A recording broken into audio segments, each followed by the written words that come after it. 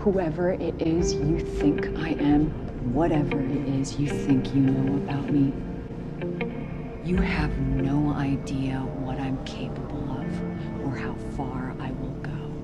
Excuse me for a while while I'm wide-eyed and I'm so damn cold. I've excused you for a while. This isn't you.